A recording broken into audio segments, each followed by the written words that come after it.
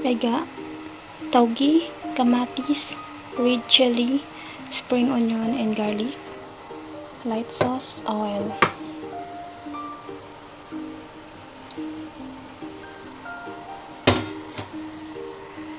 Very easy.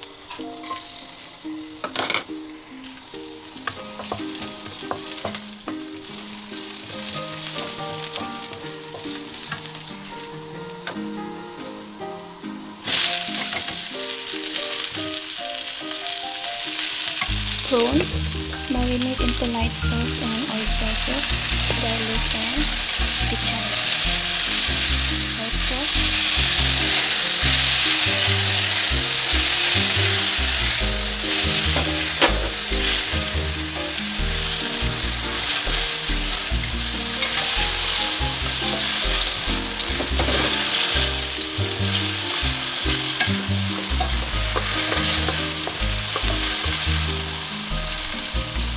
I think it's already